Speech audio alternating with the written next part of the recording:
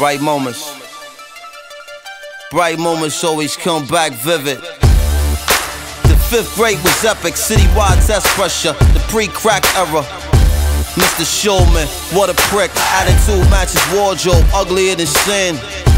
This is Bed-Stuy 82, ninth floor, three tiny rooms, one view.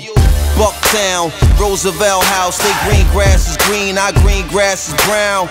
Shots rang, my phone wasn't touch tone. Heavy beef in the street, ET had to flee.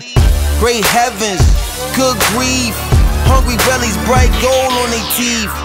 The windows on the Ave look like sad eyes. The fix a sharp gaze on you when you pass by. And if you dare to stare, you can see him cry.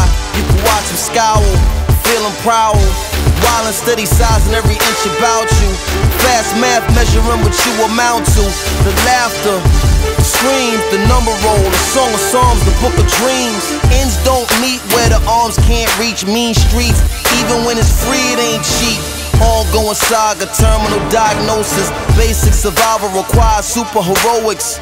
No space in the budget for a cape. It's when you gotta fly by night to save the day. Crash landings routinely happen. Some survive, others never rise from the ashes. Watching asphalt and observing the Sabbath creates an ecstatic, and there you have it. From teenage love, praying tongues, strange fruit, ballet boots, and native drums. From hence I come, so here we go.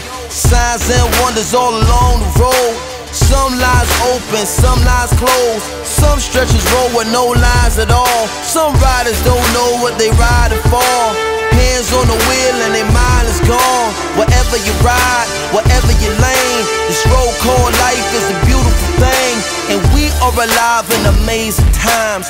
Delicate hearts, diabolical minds.